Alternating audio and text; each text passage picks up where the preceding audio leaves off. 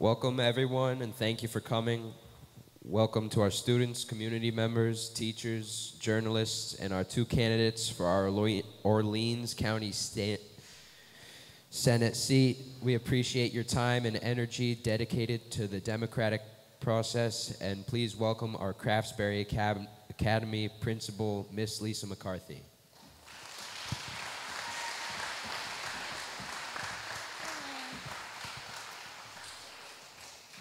Hello, welcome, and thank you for coming. It's so great to see so many community members here today, and of course, all of the students. Um, I want to give a few thanks um, before Mr. Rivers explains the process we used for the debate today.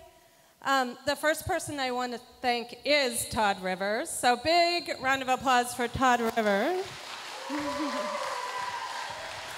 um, Mr. Rivers is our middle school humanities teacher, and this was kind of his project that he kind of pulled other middle school faculty and high school faculty and then students into planning. So it's a great event for our students. Um, in Craftsbury, I think we have a long history of really a high level of respect for tradition and also for civics and democracy. We have several events throughout the year, such as our Mocktown meeting, our Memorial Day event that we really use to highlight the importance of local government. So I think this is just one of those events um, that ties right into that theme. Um, and on top of Mr. Rivers, I also want to thank the candidates who are with us today Samuel Douglas and Catherine Sims. Thank you so much.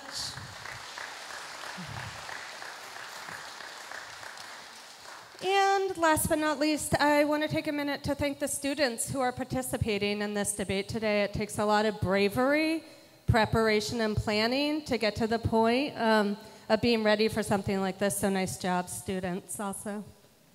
Okay, and I will turn it over to Mr. Rivers. All right, thanks everybody for coming. So here's how the format will work today. We'll have the timer to your right. The candidates will begin with an introductory uh, statement of their choosing. They flipped a coin at the beginning. Uh, Sam won the coin toss. He chose to go first. So Catherine will get to go last on the closing statements. They each get a minute and a half for their opening remarks, and then two minutes per question each. Our students thought of the questions. What topics did they want to ask of the candidates that involve them, their families, their community? So they originated the ideas. They spent many lunch periods and recess periods in my room writing their questions, doing some research about their questions, and then lastly, practicing delivering their questions with a microphone in front of an audience. So they did a phenomenal job, worked really hard. So their questions are, there, are what they chose to ask. They will ask a question, they will sit down. Each candidate will have two minutes to answer, and we will rotate between candidates in terms of who gets to go first for each question. The questions will appear on this board. Now, we try to make it as large as possible. Hopefully, you can see it um, and read along with the questions if you can see it from where you're at.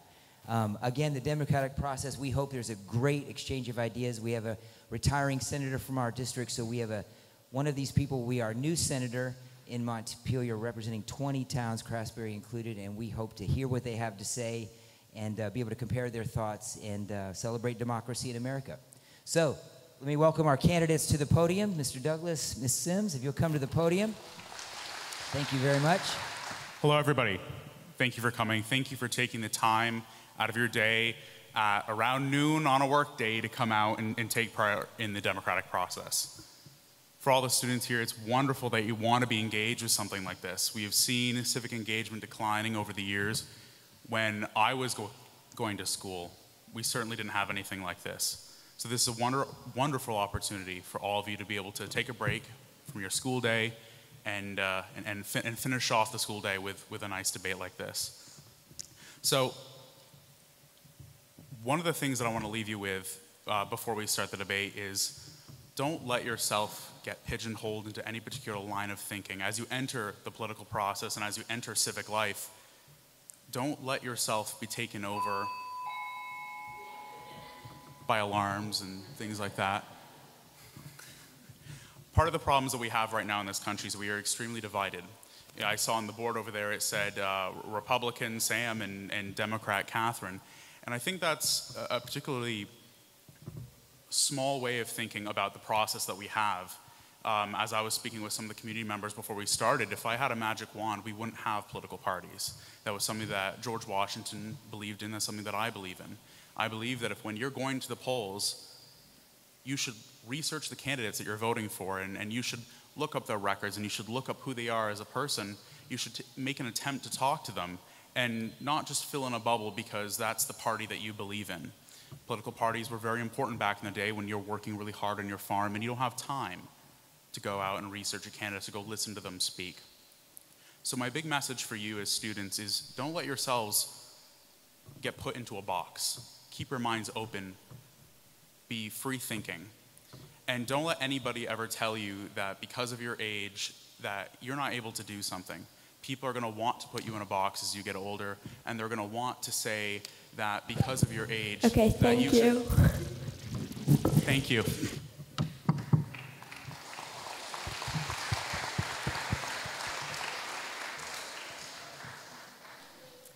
So thank you so much for being here in person and online. And thank you, students and Mr. Rivers and the school for to be here to talk with you all about the issues that matter to our community. So 20 years ago, I came up here to milk cows at Butterworks Farm. I lived in a little one-room cabin and got up every morning to stoke the wood stove before heading up to the barn. And living with Jack and Ann on the farm, they taught me about hard work. And I found more than a job. I found community. This is a really special place, but our way of life is under threat. Wages are not rising and keeping pace with inflation. Healthcare costs are rising. Housing is scarce. Property taxes are a heavy burden. We need policies that truly support folks living and working and raising a family and retiring here. I'm running to represent our district, not a party. I believe we do our best work when everyone comes together, we find common ground, and we move forward together. As a state representative, I've fought for things that are good for our region, and I stood up and voted no when they weren't. I've helped secure funding to bring high speed internet to our region. I've helped reform Act 250 to make it easier and faster and cheaper to bring housing in our rural communities. And I've championed tax credits for our seniors, our families, and our military retirees. And I also voted no on the property tax increase because I know Vermonters can't afford it. We face big challenges, but I know that if we come together, we can build a brighter future. I'm ready to step up and run for the Senate to keep fighting for our rural values. Good afternoon, Miss Sims and Mr. Douglas. My name is Evelyn Patch. I'm a sixth grade athlete here at Craftsbury Academy. My question has two parts. First, why would you like to represent Orleans County as our senator? Second, if you could pass one law with a guaranteed majority in both houses and the gov- governor's signature, what would it be? Please explain your reasonings. Thank you both for being here.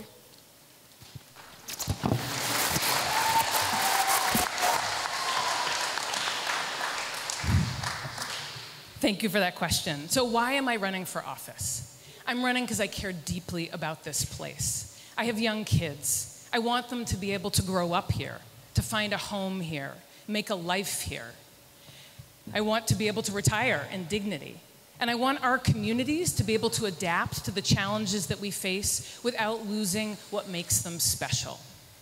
And life is different up here in the kingdom. Our needs are different in Ch- Chittenden County, and too often Montpelier ignores us. I think we need a strong voice, an experienced leader who can help advocate for solutions that really work for the kingdom. And there was a second half to that question. Oh, if we could pass one law, if I had a magic wand. Well, the thing that's top of mind for me right now is the future of public education and ensuring that all kids have access to high quality education at a price that we can afford. Right now, property taxes are too high and we need to contain costs but not lose our valuable rural schools and access to high quality education for all kids. So I hope that everyone can come together, working across the aisle, and collaborate with the governor to pass transformational education reform that ensures high quality education at a price we can afford. Thank you. Hi, thank you, Evelyn, very much for the question. So, the reason why I'm running and the reason why it matters so very much to me is because this is the area that I love. This is the area I was born in. This is the area I was raised in, and one that I want to die in. I live in the same town that I grew up in. My family is buried in that town, and that's where I want to be buried as well. I'm fighting so hard because Vermonters are struggling so hard. When I'm going door to door, and I've knocked on thousands and thousands of doors, at least 50% of them, probably much more, are telling me that they are selling their homes, and it is specifically because of the property tax increase that was raised earlier this year, and it is specifically because of the upcoming uh, possible cause uh, raise in the cost of heating fuels through the Clean Heat Standard. They are selling their homes and they are moving out. When I was at town meeting earlier this year, I, uh, I spoke to a woman in my town who didn't have heat this last winter people are struggling, and it doesn't matter what political party you believe in, people are opening up their property tax bills and they are struggling so hard for it. And we need people that are willing to bring the common sense and that are willing to put their feet in the sand and not capitulate, that are not going to have their arms twisted and told that they have to vote a certain way. I'm going down there with the governor's support and the support of the, major- the vast majority of our Northeast Kingdom legislators because they know that I will bring those common sense solutions and that I will defend the place that I love so, so very dearly. And to answer the, the second half of your question, Evelyn, um, if I could have one thing pass, uh, that would be a, a, repeal or a reform to the 250 process. And it's a little, it's, it's pretty complicated. Um, in the 70s, they passed a bill, some legislation that would restrict development to try to preserve the natural landscape of Vermont. Um, and that bill, unfortunately, has some very unintended negative side effects, and that is restricted residential development. Um, the governor has expressed his, will, want, his desire to end that, and I do as well. So if I had that magic wand, I would reform that to let people come in. Hello, Miss Sims and Mr. Douglas. My name is Jonah Wilberg, and I'm a seventh grade student here at Craftsbury. I'm wondering what your position is uh, regarding cell phones in school. According to Vermont Public, banning phones in school is gaining momentum across the state. According to Education Week, at least 11 states have passed statewide restrictions or even outright banning phones in schools. A bill came up during the previous legislative session about banning phones and social media in schools, but ultimately failed. Several states, including Vermont, are also suing Meta, the parent company of Facebook and Instagram, saying the company created addictive apps which harm adolescents. Should schools and school boards ban them or limit them, or is that the job of the legislator? Thank you. Mr. Douglas. Hi, thank you, Jonah. Um, I, I do support those efforts as a candidate and as an individual, I do believe in, in self-determination and the freedom of individuals to choose where what they want to do with their lives and, and how they want to live it and the things that they that they want to buy and use with their own money. Um, but the effects of, of cell phones and as you said meta and facebook and social media that has been widely studied and widely discussed. And there's a reason why those states are, are, are passing such legislation. Um, we've even seen in adults you know the rise of dopamine addiction which is uh, which is I'm, I'm, sure you saw that in your research. It's it's a really serious issue and it's an issue for adults as well. It's not just for our students. It's not just for our younger people. Um, and it, it negatively affects everybody that has these devices. And you'll find that there's an entire market an entire um, business venture raised around developing applications um, and other programs and classes and courses to help you overcome cell phone addiction and overcome social media addiction. There's, there's apps that you can get on your phone that will lock you out of your phone for a certain period of time. And, there are a lot of reasons why those things exist. And it, it is because of the very negative mental health effects that we see in them. Uh, cell phones and social media have a very, very important role in our world in connecting us on a very, very deep level, and that has been fantastic since they've been invented. But unfortunately, um, there, there are negative sides to most about everything, and unfortunately, that's one of the negative sides of cell phones and, and social media. Um, so I do support those. Uh, the legislation like that. Um, I also support our schools doing that independently. And if in some cases the schools want to have uh, looser, loose, looser bans on those in their schools for particular reasons, whatever the reason was. I, I, do believe that the, the, legislation that you're talking about, um, it did not end up passing due to the, uh, the concerns of the impacts that it would have on students that are part of the LGBTQ plus community. Um, so, you know, I'm also in favor of schools making those decisions for themselves, but there's some good conversations to be had about that.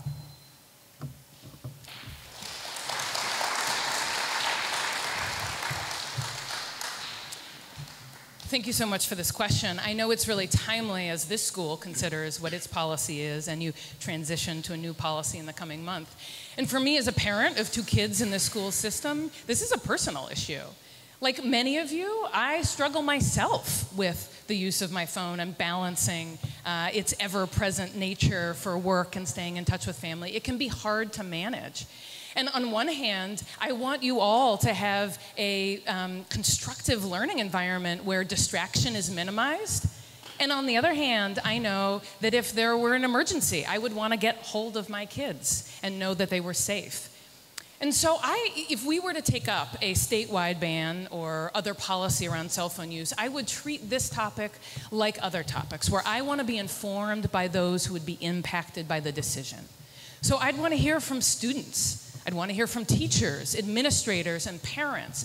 And all of that feedback um, would guide the, uh, the position I took on the bill as we took it up um, in the State House. Because um, my job as a legislator, as a representative, as a senator, would be bringing your voices to the State House, um, carrying your values forward. So um, appreciate this. I think it's a really um, difficult um, an important topic, and look forward to hearing from you all as we take up this topic in the future. Thank you. Thank you. Our next question from Mr. Hollis Allen, seventh grade.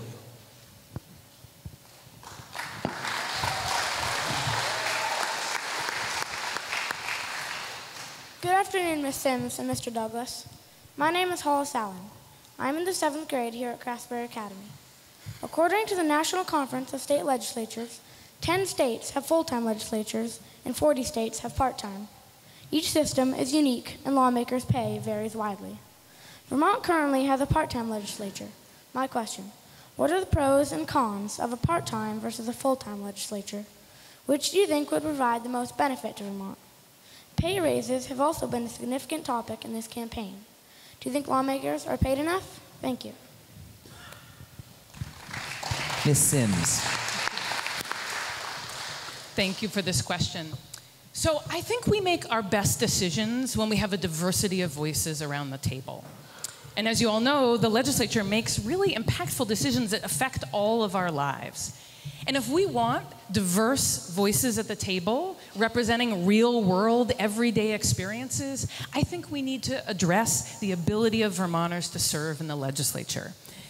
Right now, legislators are paid $13,000 a year with no benefits. And while we're in session January through May, the work continues in the off session. Constituents still have needs um, that legislators can help solve. Uh, there are meetings with advocates and constituents to identify the priorities for future sessions. And actually, writing bills begins before the session so that you're ready to go on day one. And I've heard from too many that the current compensation um, deters uh, experienced, capable, passionate folks from stepping up to serve their community. And I'm concerned about a worrying trend. Right now, there are seven first time candidates running for office who face no opposition. And there are 50 incumbents who are running without any opposition. And without any competition, voters don't get an opportunity to hear different perspectives, different viewpoints, and weigh those. They don't get an opportunity to hold incumbents accountable for decisions that may not have reflected the majority of folks in their district. And so I think reevaluating the current compensation for legislators would help us attract more diverse folks, not those who can just afford to serve because they're wealthy or they're retired or they have privilege. Um, and it would create more competition, which would help drive better decisions so that the legislature is really centering their decision making on the lived experience of everyday Vermonters. Thank you. Thank you. Mr. Douglas. What was your name, young man? Was it Halls? Hollis. Halls. Thank you. Uh, thank you, Halls, for the question. So, um, I'll, if, if, it's all right with you, I'll, I'll, answer the, the second half first and the first part second. Um, I, I, I, certainly agree. We need to be holding incumbents accountable for, for the records and the things that they've done. And I would certainly say that, uh, you know, in a lot of cases across the state, it has been difficult to find people to run for office. But I, I certainly don't think it has very much to do with the pay. Um, I am not retired, nor am I wealthy. My bank account is usually in the negative. I'm, my wife and I are paycheck to paycheck.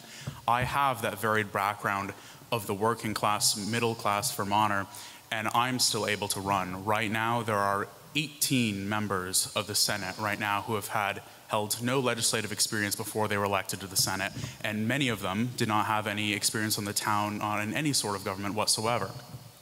So I think it has little to do with how much legislators are paid and more of their ability to serve in other regards, how much time they have in their lives, whether or not are they a business owner and they're able to take away time from their business. And earning, uh, you know, 10 more thousand dollars isn't going to make it easier for them to take time away from their business. Um, it's more about the time you have in the day. Having more money given to you as a legislator will not help you run for office if you can't afford to run for office in the first place, if you do not have time to run for office in the first place. To get that money and to get those benefits, you actually have to be in office to get them. So you have to get elected first. And speaking as a candidate who is neither retired nor wealthy, um, raising the money required to do these sort of things is particularly prohibitive.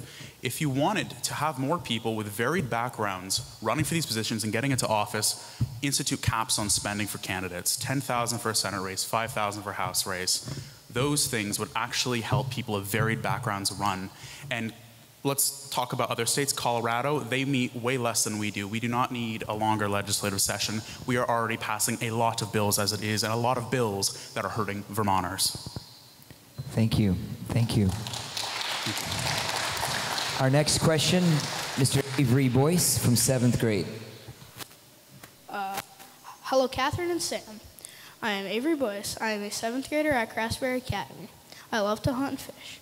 My question is about gun laws specifically gun laws com- compared to other states. According to the company SiteMark, there are approximately 50 gun laws that states can adopt to make gun use stricter or safer, depending on your point of view. California is ranked first and has adopted 45 of them, and Mississippi is ranked 50th and has adopted three.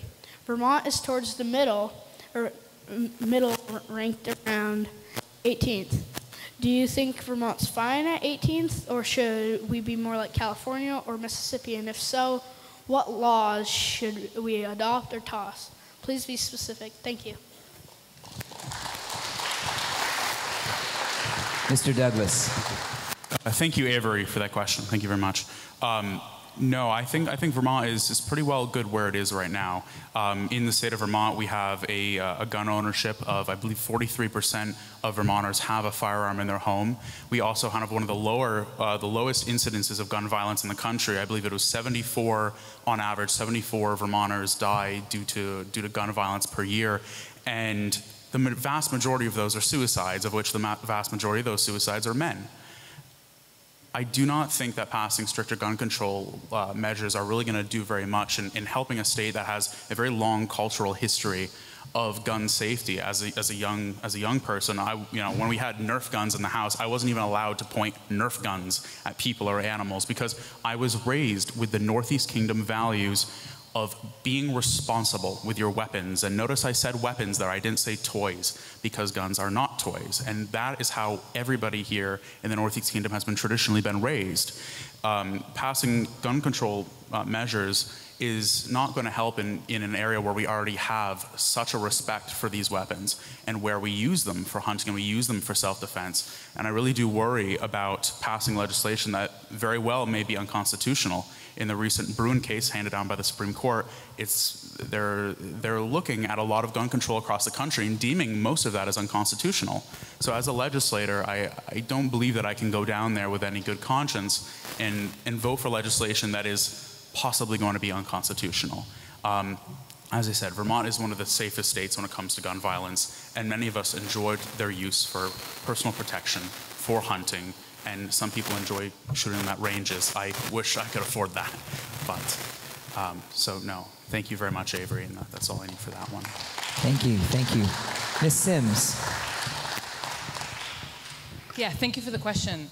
So I support the Second Amendment, and I think it goes hand in hand with gun safety. My husband and I are gun owners, and I deeply respect Vermont's hunting traditions and value of responsible firearm ownership. So I currently I support our current gun safety legislation, which we've passed in the previous sessions to address critical issues like rising suicide rates, domestic violence, and public safety.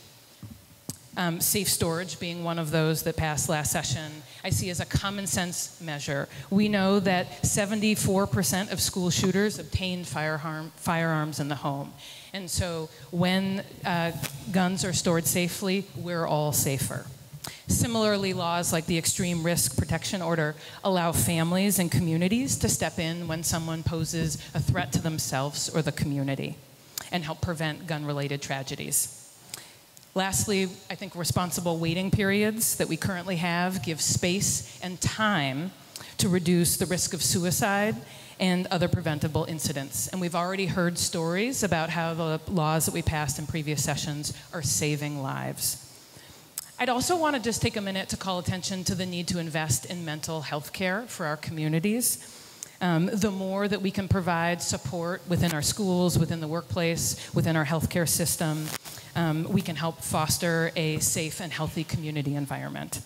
So I'm comfortable with the gun laws that we have today, and I think uh, they support responsible gun ownership and help uh, keep people safe in our communities. Thank you.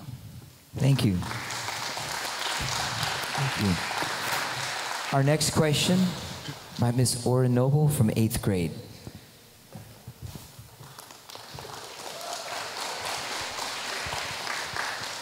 Good afternoon, Miss Sims and Mr. Douglas. My name is Aura Noble, and I'm in eighth grade here at Craftsbury Academy. According to the University of Vermont, property damages from flooding in Vermont are calculated to exceed 5.2 billion over the next 100 years. My question, how does a small state already struggling with property taxes afford frequently occurring flood damage and the cost of those repairs? If you were elected to the state senate, what solutions would you propose to help this mighty little state stem the tide? Thank you. Thank you, Aura. Ms. Sims. Thank you. Another really timely question. The floods over the last two years have highlighted that changing weather is here and that we need to continue to do more to keep ourselves safe and support quick recovery. So I'm trying to find the right distance so you can hear me, but there's no weird feedback. Um, and uh, as we just heard, the cost of climate change is significant. I just want to step back and talk a little bit about some of the work that I've done around the floods that we've had in the past.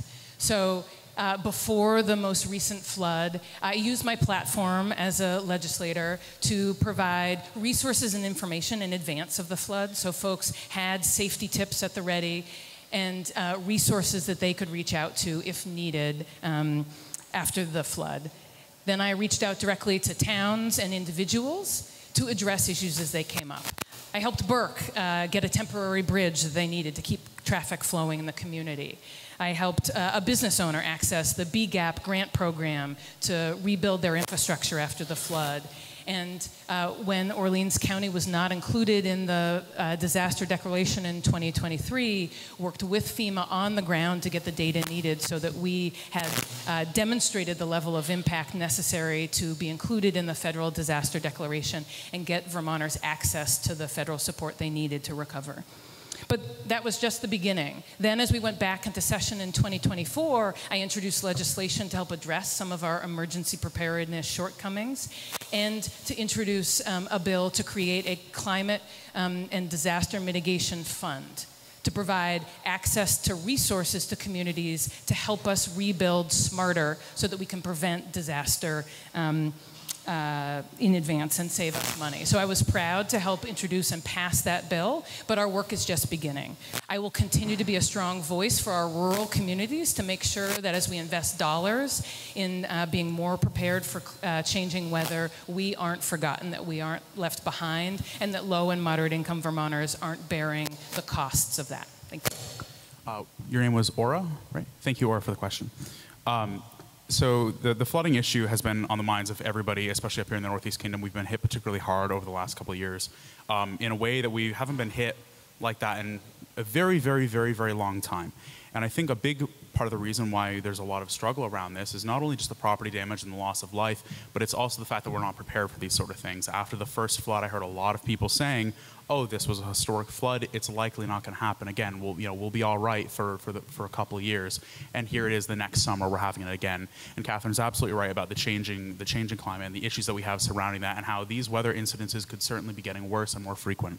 I think what we need a lot more of, and something that I'm very happy to put forward in the Senate and to work across party lines to get this done, is to have more techniques brought in to allow homeowners to properly, using good 21st century methods of flood prevention, to protect their homes and protect their families and their livestock.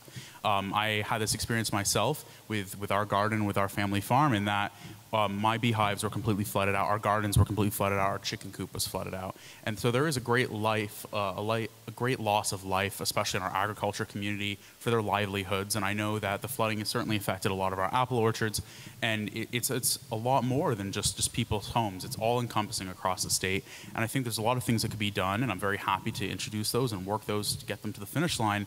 Uh, one of those things I was talking about recently with some of the, with some of the local reps over in Burke, um, and also uh, one of my friends who works as uh, the town town administrator, is having uh, drones. This was an interesting idea that was proposed that I would be happy to try to find some funding for. One of the issues we had is so many people, out of the goodness of their heart, wanted to get in there and help with the flood relief. I was one of them, and I spent weeks out of this last out of this campaign, out of this summer, over in Burke and Lyndonville helping with the flood relief. And I was finding that there was a lot of areas we just couldn't get into, and a lot of those people living in those homes, they still needed resources, they still needed food and water. So one of the ideas that we've been talking about and that I've already been working with members of the Senate on is finding uh, resources and funding for, for drones to be able to fly those resources into people. Thank That's one idea. Thank you. Thank you.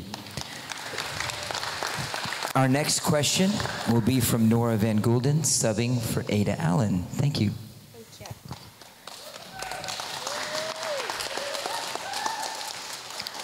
Good afternoon, Miss Sims and Mr. Douglas. My name is Nora Van Golden, and like Mr. Rivers said, I'm filling in for Ada Allen, who had a playoff game today. So, good luck. Yeah.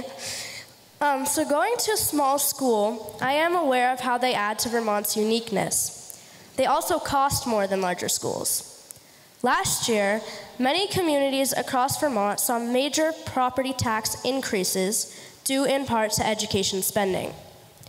Currently, Vermont has the fifth highest property tax rate in the U.S., according to the United Paramount Tax Group. This is a major concern for Vermonters. Many are worried about larger increases next year. Some believe Vermont's small schools are part of the spending problem. Others say that consolidation efforts like Act 46 failed to cut spending. Nobody seems to agree on the facts. How would you, as a legislator, approach such education spending and planning issues while also supporting Vermont's small community schools like Craftsbury. Thank you.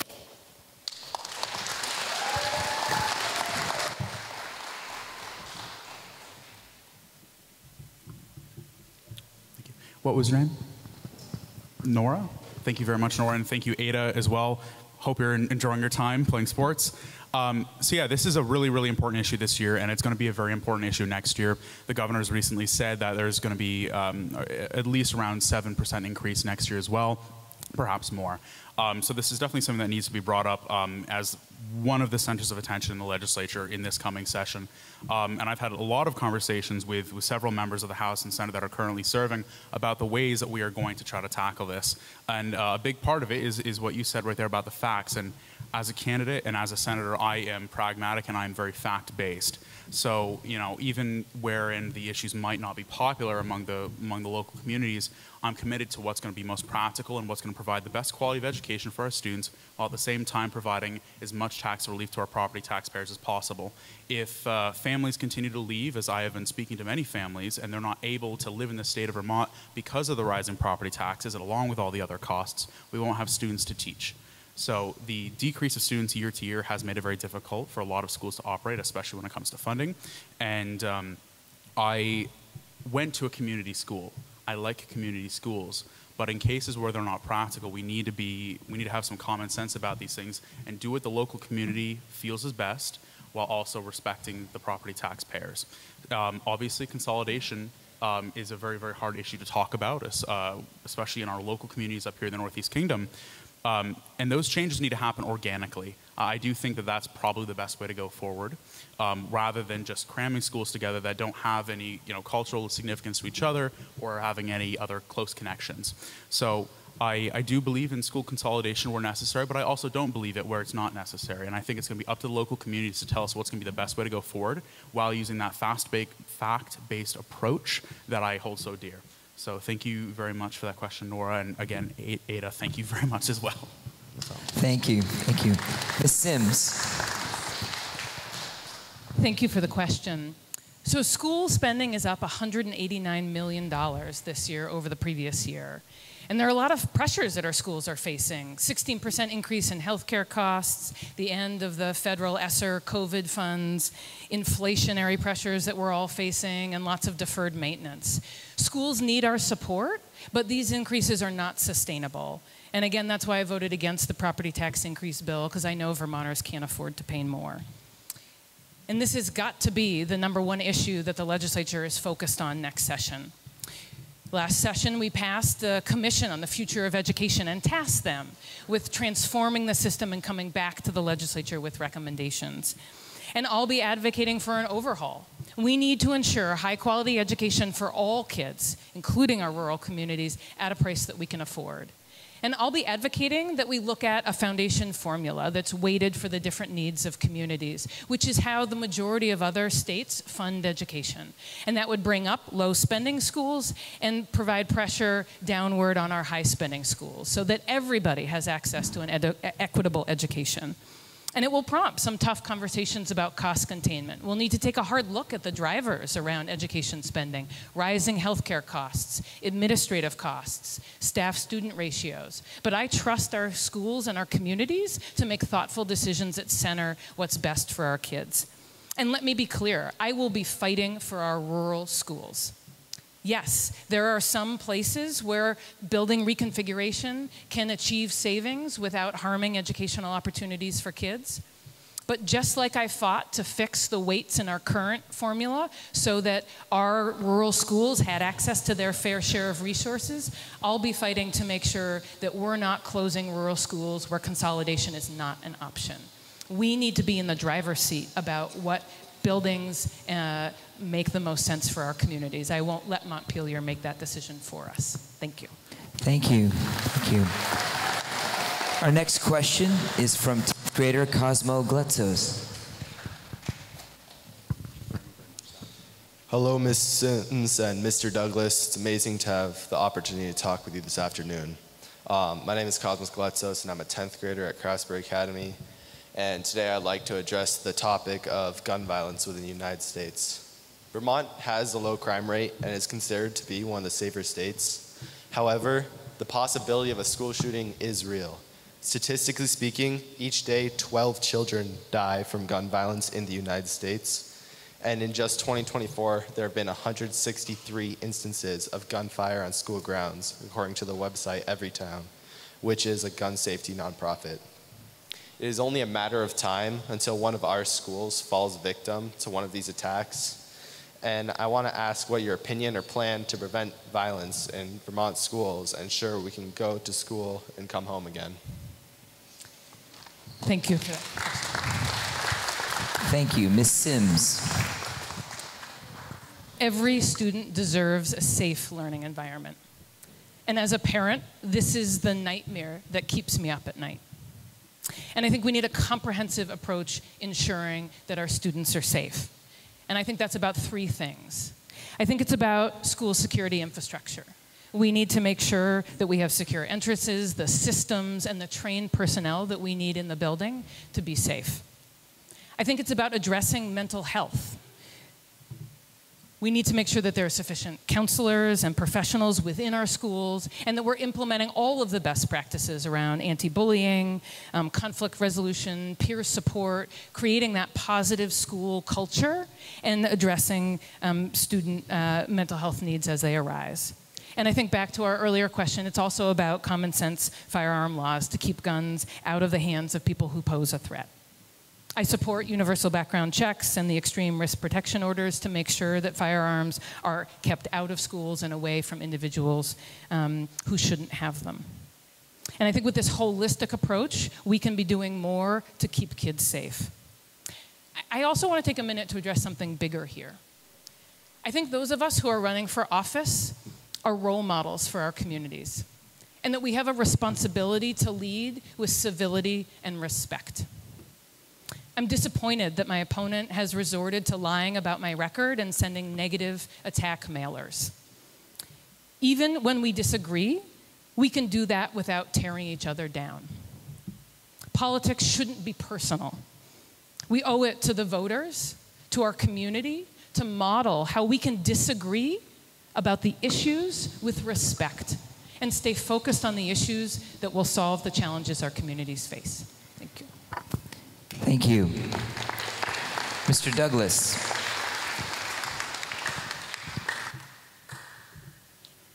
Hi, thank you very much for the question, and I'm, I'm very happy to address that as well. But I would like to also just address what Catherine has just said, and I, am certainly happy to hear that you agree that your record is negative. I, am happy to hear that. Um, and I wouldn't say that calling out a public record is all that negative, and I'm certainly not making it personal, as I've been hearing you making very personal remarks about my age, which I think here in a school with younger students, I think is a very touchy subject to talk about when we're encouraging young students to get involved in the civic process while also making very derogatory remarks about my age and my ability to serve. But to answer the question, which was about uh, violence in schools around firearms, I'd like to say so I'm, I live in North Troy and I live right down the street from where we recently had an incident. Thankfully, there were no firearms involved in that incident, but it does bring up a very interesting point, a very important point about the safety of our schools. And I absolutely agree that we need to address having the physical barriers in place at schools, and we need to address the culture and the mental health that goes behind those decisions that some of our students or some of our community members may make. Um, there's a reason why, and I said this earlier, there's a reason why Vermont has a very low incidence of gun violence, and that's because we have the culture that supports it in the opposite direction. We have a healthy respect for firearms, and we do not view them as toys. We view them as deadly weapons because that's what they are. And we've had that low rate for such a small, for such a long time because we have that healthy respect. And it is all about the culture that we have around them. If we are going to teach students that there's something to be afraid of, then there's going to be no experience and no exposure for those students. I grew up using them. I grew up shooting targets in my backyard. We grew up doing Easter egg hunts, and not the normal Easter egg hunts you might you might be aware of, but using BB guns to go out and shoot the eggs that you have hidden around the yard. That's the culture of in the firearms in the Northeast Kingdom that we've had, the culture of hunting and the culture of providing for your family. And we need to have that culture back. That's why our rates are so low. Thank you. Thank you. All right, we have four questions left. Uh, our 10th grader, Arwen Alexander. Thank you.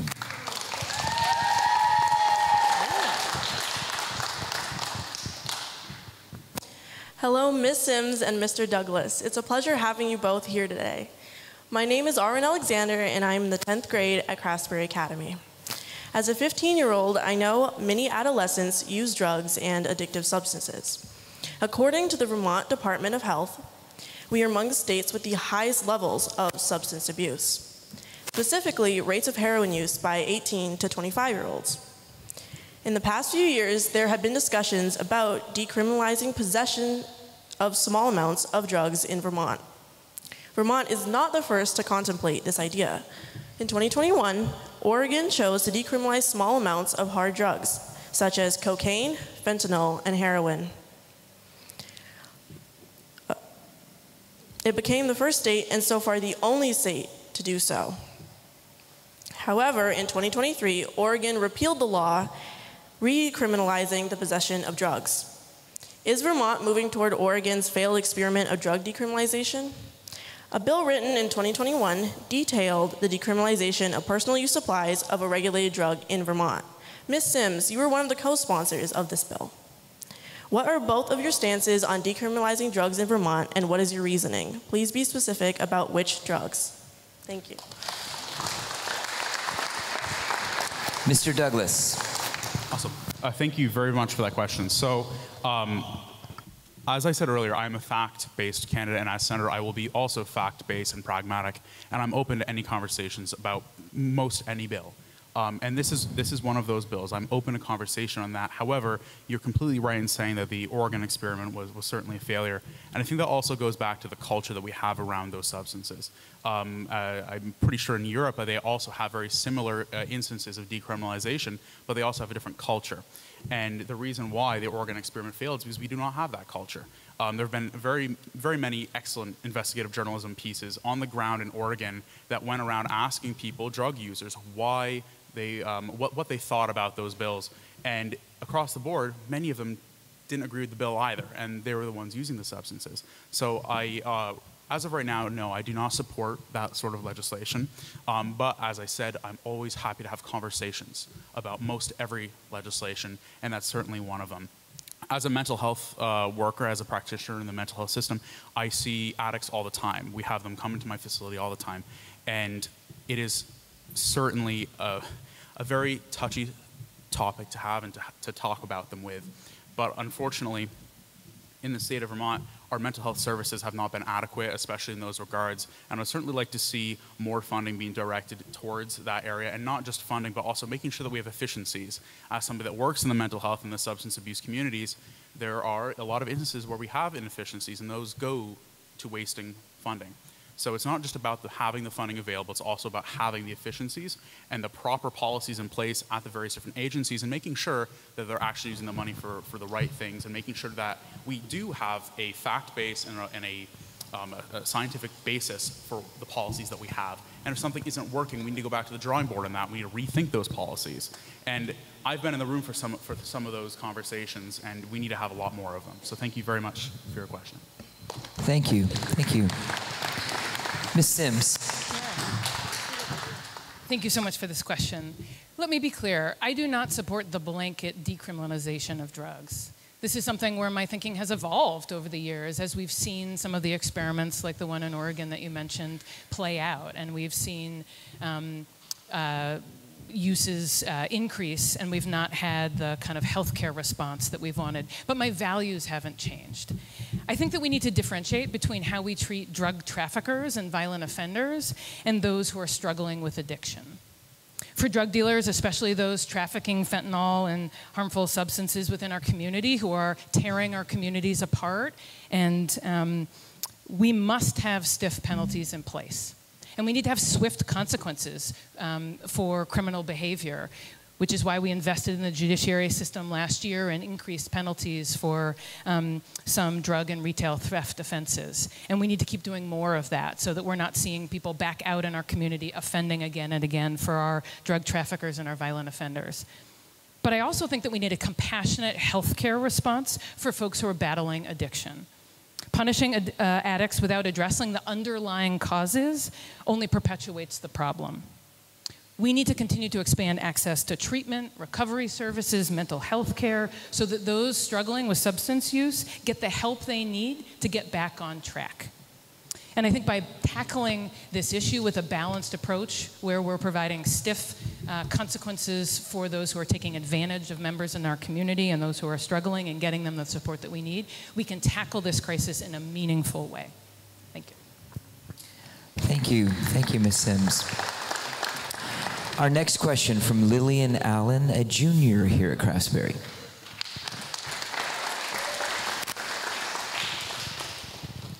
Good afternoon, Ms. Sims and Mr. Douglas. My name is Lillian Allen, and I am in 11th grade at Craftsbury Academy. I love riding horses on trails through the woods and fishing. There is talk of breaking tradition and adding two members to the Vermont Fish and Wildlife Board who do not hunt, trap, or fish, but enjoy Vermont's wildlife in other ways. VT Digger states that the Fish and Wildlife Board is currently made up of 14 citizen members appointed by the governor. The board creates and approves all hunting, trapping, and fishing regulations for Vermont's game species. The board is typically made up of active hunters, trappers, and anglers. The board is also highly educated in environmental science, biology, and many other degrees and experiences in this field. Vermont's wild game population is stable, and some wonder why changes need to be made. Others feel that only including hunters and trappers and fishermen does not fully represent our state. How do you feel about adding non hunters to our Fish and Wildlife Board? Thank you. Ms. Sims. Thank you for the question. So, hunting and trapping are deeply rooted traditions here in Vermont, and they're also important tools around active management and conservation and stewardship of our wildlife. And I support the current um, hunting, fishing, and trapping regulations. These rules, as we heard in the question, were developed with scientific study and robust public engagement to make sure that we are minimizing harm towards animals, pets, people, and using science and best practices to inform that decision. And I'll continue to advocate for responsible, well regulated hunting and trapping within our community. Um, I would not have supported S258, the bill that was before the legislature last session that did not come to a vote, because it felt like it was. Um, it was not a consensus recommendation. And so, as we think about the role of the Fish and Wildlife Board moving forward, I'm always open to conversations and certainly would support all of the stakeholders at the table hunters, trappers, the current board, animal welfare advocates coming together. And if there were consensus recommendations about how the board should be modernized or what its um, accountability and focus and scope was, um, you know, I'm, I'm open to advancing something that represents a consensus of all the stakeholders at the table. But again, I think we need to stay focused on policies that support um, responsible conservation and active management of wildlife um, and uh, support our current rules and regulations. Thank you. Thank you. Mr. Douglas. Uh, thank you very much, and thank you very much for the tour. That was lovely. You guys uh, certainly do very well here at Craftsbury. She knew all the answers to my questions, so it was lovely. Um, and really, thank you for the question because this is one that's very near dear to my heart as, uh, as, as I am an angler and I come from a very strong hunting, fishing, and trapping family. Uh, you've gone to the, the rec room and the den at my grandparents' house. It's just nothing, it's nothing but mounts on the walls. And it is so integral to our culture and our traditions that we have here in the state of Vermont, and those need to be protected as, as much as we can. Um, and I think, and, and no, I, I, do not support adding um, non-hunters, non-trappers, non-anglers, or sportsmen to that board for the for the very same reasons that, that Ms. Sims also mentioned. Um, but I think the root of the matter of why people wanted that legislation in the first place is very important. I think it's because our citizenry does not feel that they have very much say, and I feel that they're not being heard. They have concerns and those concerns do need to be heard and do need to be addressed. But I don't believe adding people that have no experience in these in these fields and have no experience with the science and the ecological research that comes with being on that board. I don't think that that's the solution. I think the solution is to address the concerns that people have and, and the root causes of, of why they're bringing them up. And, and I think that's going to be a more compassionate and a more a more community-based approach to this to this question, but putting in sweeping legislation to change something that has a very long established positive effect on our wildlife communities and in our communities at, at large, I don't think that's the answer. So I think we do need to have a better community-based approach to address the problems and the reasons why people wanted to have those people on the board. Because I think that's important as well.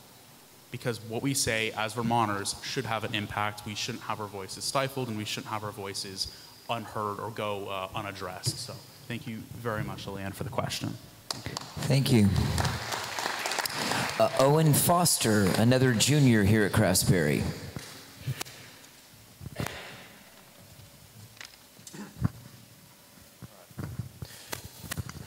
Good afternoon. Thank you for coming here. My name is Owen Foster. I am a junior, a short story writer, a self taught artist, and the holder for the second place in the Wolcott Elementary talent show in 2017 for bringing a snare and a cymbal to whack whenever I cracked a cringe inducing joke. Can you tell one? yep. Uh, before I get started, I just want to say this is the first day in my life that I am now a 17 year old. So, thank you. Thank you. All right. this one's very personal to me. I want to discuss the mental health crisis in Vermont teens. According to Vermont's 211 websites, between 2016 and 2020, the number of 3 to 17 year olds experiencing depression or anxiety increased by 40%. Vermont's Youth Risk Behavior Survey report from 2019 states that 31% of 9th to 12th graders and 23% of 6th to 8th graders have reported feeling sad, lonely, or hopeless every day for at least two weeks in a row in the previous year.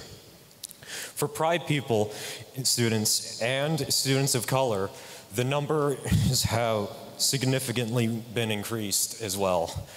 Do you feel like this is a major problem?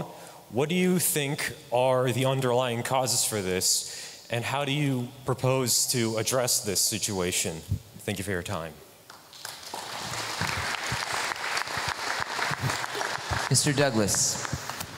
Thank you very much, Owen, for the question. Um, it is absolutely, certainly, a very important issue. And, and as I said, my work with mental health, I have seen a dramatic rise in people coming into my facility um, that are very, very young, from you know, uh, from eight, from 18 to 21, a huge rise, a huge spike in those individuals with a lot of the same things that you're talking about. Um, the rates of depression and feeling hopeless and lonely are rising, and it is not just among our youth, but it has been dramatic in our youth, and I think that's something that we need to address. Um, some of the root causes of that. And you know, I've in the course of this campaign, I've gone around and I've spoken to dozens and dozens of teachers, and I do this very, very anonymously because I want them to be able to feel like they can say whatever they want to me, and I'm not going to go sharing around that it was them that told me those things. And the things that I'm hearing, especially from the guidance counselors I've spoken to, and, and doing my own uh, in my own training and education with with childhood mental illness, is a lot of the generational trauma, especially here in our local and rural communities.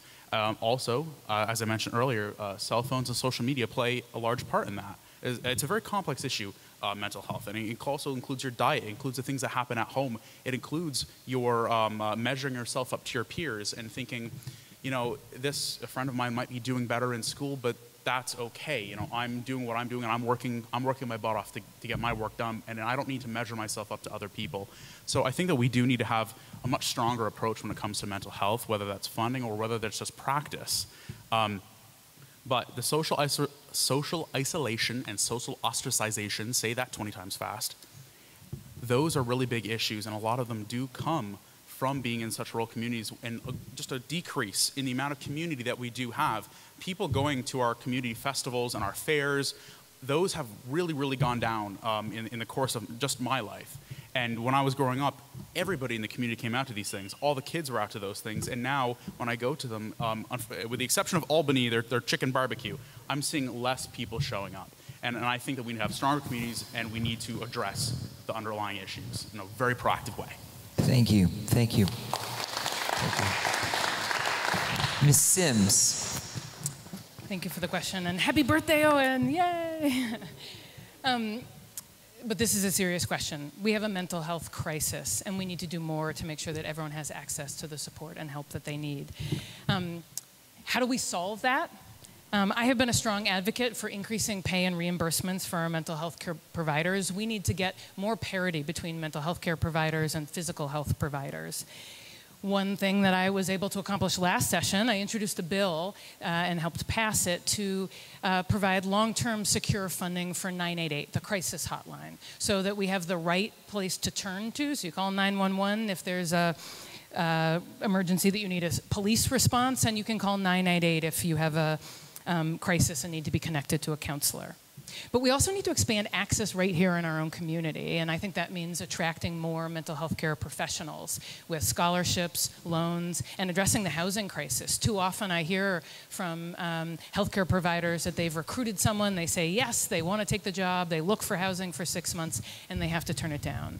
Um, so that's a kind of intersectional issue that we need to address. And I also think we need to continue to integrate mental health care um, into our primary care settings, our school settings, our workplace, so that um, we have ready access to that kind of support wherever we are, um, including telehealth options for those of us who live in more remote rural areas.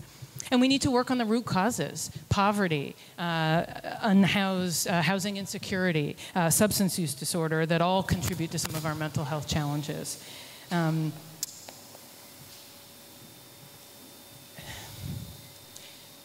there are so many challenges that we face at this time.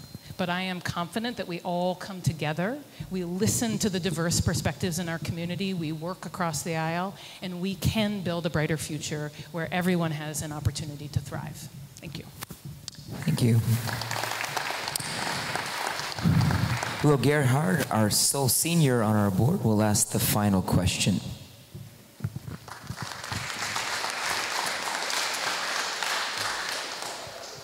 Good afternoon, Mr. Douglas and Ms. Sims. My name is Will Gerhard. I'm 12th grade at Craftsbury Academy.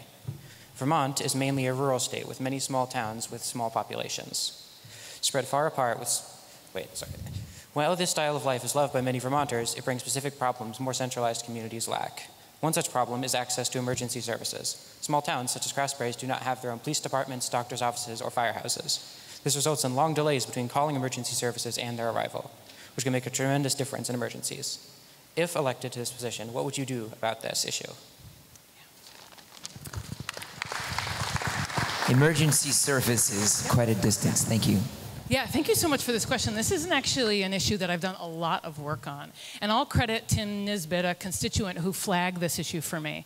I think we all expect an ambulance to come to our aid when we need it, but I was shocked to learn from Tim about the crisis in EMS right now with rising call volume, declining volunteers, and reimbursements that don't cover costs. And so, hearing about this crisis, I was motivated to research and learn more about the issue, and then convene partners across the state uh, per, uh, EMS providers, hospitals, uh, our agencies. And we asked the questions what's working? What are the gaps? And what do we need to stabilize EMS in Vermont, especially for our rural communities? And that led to the introduction of H622, which I introduced and passed last session, that made some immediate changes to increase reimbursement rates for EMS providers so that they're now getting uh, Medicaid rates that are 100% of the Medicare rates as well as getting reimbursed for treatment without transporting folks to a hospital. So, some immediate changes to stabilize the finances of our EMS providers, but we also set in motion um, a system wide transformation to ensure efficiency, uh, make sure that we're not leaving rural communities behind, and also lower costs. And when that uh, comes back to the legislature, I look forward to taking action on those recommendations. Um, and I, I just want to highlight that this is how I approach all issues that have come up for me. I am taking on legislative priorities that I hear from constituents. And I'm doing the work to bring people together and have recommendations about how, how we solve these problems come from the stakeholders who are impacted by it. And then I'm rolling up my sleeves, working across the aisle to get co sponsors and then successfully pass bills that make a difference for our region. Thank you. Thank you. Thank you. Mr. Douglas. Uh, Will, thank you very much for that last question there. Um, so emergency services in our local communities are very, very important, as we all know. Um, myself, when we had a house fire, it took up to 30 minutes for, for the first responders, for the firefighters to, to show up. Um, and earlier this year, when I pulled over to the side of the road at one in the morning to put out, uh, put out a fire at, at, a, at a house, um, or at least to help, again, another 30 minutes before people were, were before the firefighters were able to get there we have these issues, and I live in North Troy. You know, you, you saying that you don't have the services here in Craftsbury, I have the services in my town, and yet the response time was still 30 minutes. So having uh, uh, speediness and efficiencies in our departments are going to be very important. And when it comes to fire departments in particular, a big part of that, as she, as she said, is is the volunteer rate right now. Um, a lot of people are not able to leave their jobs. They're not allow, or they're not able to leave their jobs because they're worried about either getting fired or they're worried about not being able to be there to earn their paychecks. Um, and a time where we have the falling volunteer rates, which is also a cultural thing. It's it's not just have to do with the money. It's also a cultural thing. But when people are struggling so hard, leaving their jobs when they need to get the paycheck is just not something that a lot of people can do. And you're at that point, the people that are showing up to fire calls, they're there for duty. They're there, they're there for a strong commitment to the community, and that's wonderful. But we also need to bridge the gap for the individuals that can't leave their jobs because of financial reasons. Um, so one thing that I've already done, and day one, this is something that I want to that I want to hit the ground running on, and it's something that I've already been working on with members of the Senate from both parties, and that is putting together bill packages to address the issues that we're seeing in our fire departments. I've gone around and visited um, many of our departments, and I was very sad to hear that I was the only candidate that has come to see them, and I was the only candidate that they've ever uh, that they've ever had, really. And they don't even hear from the legislature legislators very often. They don't have them at their meetings. So by working with them, and I've continued to work with them, we're putting together a bill package right now to provide a little bit of extra funding where we can, and to really put in some institutional changes to make it easier for firefighters to go out to those fire calls and really beef up their departments. So thank you, Will, very much for that question. Thank you. Thank you. All righty. Thank you, everybody. It's time for closing statements. We have a little extra time, so I'd like to give each candidate an extra minute, three minutes each. If they could include in their closing statement some advice they might give to some really awesome Northeast Kingdom students who live in Craftsbury uh, in terms of their future and their education. So, three minutes each. Mr. Douglas will go first, and Ms. Sims will finish. Thank you. Awesome. Again, thank you everybody for coming. Happy birthday, Owen. no problem. I really appreciate everyone coming out to do this sort of thing for our students. As you're going to enter into civic life, into adulthood, these issues are very important, and these sort of things are important to attend. You need to be coming out and going to local debates. You need to be going out, meeting your legislators, writing questions to candidates, and not just sitting down and reading the, reading the news or watching the news and listening to what that tells you to think. You need to be free thinking, you need to be open minded. And as I said in my opening statement, don't put yourself into any one box be thoughtful and open minded. That is perhaps the biggest advice I can give to you. That and to be humble. Know your roots. Growing up, um, gro- growing up when I was when I was much younger, um, I was was a little braggadocious, and my father made it very very clear to me that if you want to be a functioning adult in our communities, you can't brag about things. You can't be overly proud about things. Be proud of your accomplishments, but don't brag. Be be humble. Being humble in all things, I think, is going to be. I think that is the root of great communities and a great society. So if I can leave you with anything, it's be humble. Don't put yourself in any box and keep an open mind. Look around, look at all the options you have in life, and, and really take advantage of things like this when you have the opportunity to be involved in the civic process. Um, while you're thinking about these issues as students and as you're entering into adulthood, be concerned when it comes to the bottom line, when it comes to your wallets and your parents' wallets, because money makes the world go round in our communities and in our state and in our governments. And remember where the money is coming from. When the government spends money on something, you can't say, oh, the government will provide for this, the government will pay for this, because it isn't the government paying for anything. It's the tax dollars that come out of your incomes, the tax dollars that come when you, when you buy something at the store. It comes from your property taxes. The government pays for nothing, you pay for everything those are some of the biggest things that we need to remember as Americans, and especially up here in Vermont where we face such important financial hardships. Remember where the money's coming from. Remember that it doesn't come out of nowhere, and to take everything seriously because this is life. What we are doing and what we are all doing here, this isn't, this isn't, just, this isn't just a mock debate. This isn't just playtime. This is important because it has to do with people's lives in our communities, and it is just so vital that we actually have open conversations about things and open dialogues and not putting yourselves into boxes, especially as legislators. And you might not be sitting down in the state house, you might not be sitting on your local select board, but you still have a vote. That vote is your voice, and let your voice and that vote be heard in the court of public opinion. Take to social media, make noise, call your legislators, demand answers, ideally be polite, but you know, demand answers, talk to candidates, and be engaged because these things matter and they are intimate to our way of life. So thank you very much, everybody, for coming, taking the time out of your work day. Um, and for the students, good luck. Thank you. Thank you. And Ms. Sims, closing statement. Thank you so much. First, I want to thank Sam for a civil and respectful conversation about the issues here. And I thank you all for taking your time out of your day to be here with us in person or to watch later online. I think we all know the challenges that we're facing stagnant wages, rising healthcare costs, scarce housing, and high property taxes. And I'm offering concrete, practical solutions to tackle these issues head on. With Senator Starr's retirement, the representation of our region is at a crossroads. And with the challenges that we face, we can't afford to send someone down to Montpelier who's going to say no and sit on the sidelines.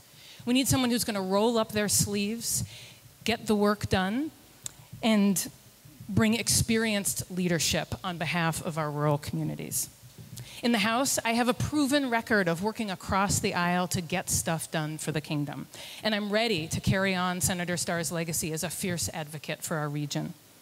I have a clear plan to make Vermont more affordable tax cuts for the middle class, lowering the cost of housing, health care, child care, and elder care.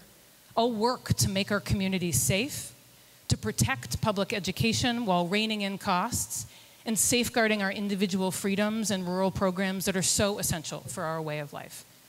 Whether you're a conservative, a moderate, an independent, a Republican, or Democrat, I want to earn your vote.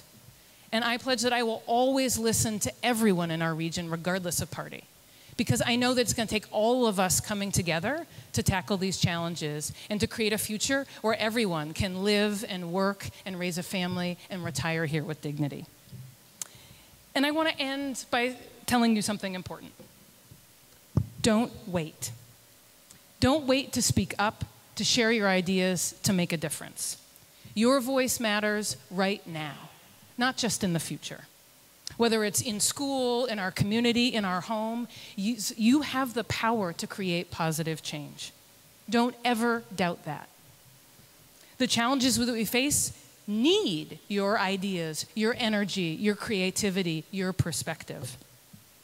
This place, your future, it all matters, and you are already making a difference. So please don't wait. Use your voice, believe in yourself, and know that you can and are making an impact today. Thank you. Thank you very much.